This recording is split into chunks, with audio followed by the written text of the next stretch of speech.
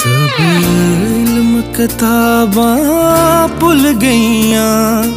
ਇੱਕ ਸਬਕ ਇਸ਼ਕ ਦਾ ਯਾਦ ਰਿਹਾ, ਜਿਹੜਾ ਮੇਰੇ ਦਿਲ ਦਾ ਮਹਿਰਮ ਸੀ।